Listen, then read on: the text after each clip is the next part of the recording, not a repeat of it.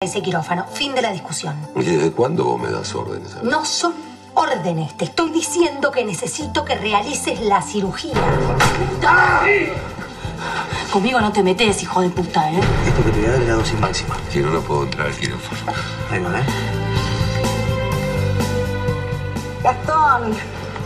Tenía muchas ganas de conocerte. Por Yo no favor. hice nada, le juro por Dios que no hice nada malo, de verdad, se lo ¿Sabes juro, se lo qué, juro mi por- amor, mi amor? Juráselo al juez. ¿Y vos, viejo? ¿Cuándo te encargas de vos? No me gusta que estés tan solo. Me tenía que pasar a mí, te dije que no tenía que operar, Leandro, te dije que no tenía que operar.